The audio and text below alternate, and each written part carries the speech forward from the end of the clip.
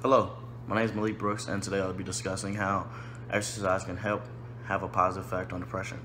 In three ways, it can release feel-good brain chemicals that may ease your depression by stimulating neurotransmitters, endorphins, and your endocannabinoids.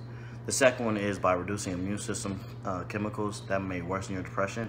And third is by increasing body temperature, which may have calming effects. Today I'll be discussing with you three different equipments you can use when struggling with depression. And one is a treadmill, another one is a bike, and the last one I'll be discussing is the lat pull down. Um, for the treadmill, that you can use it for any endurance or for your cardio.